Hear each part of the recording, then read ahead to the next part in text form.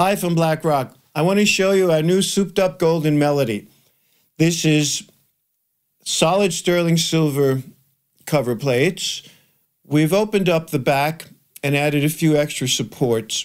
We also case hardened the silver and polished to a really high sheen. It makes it the smoothest ride you'll ever find.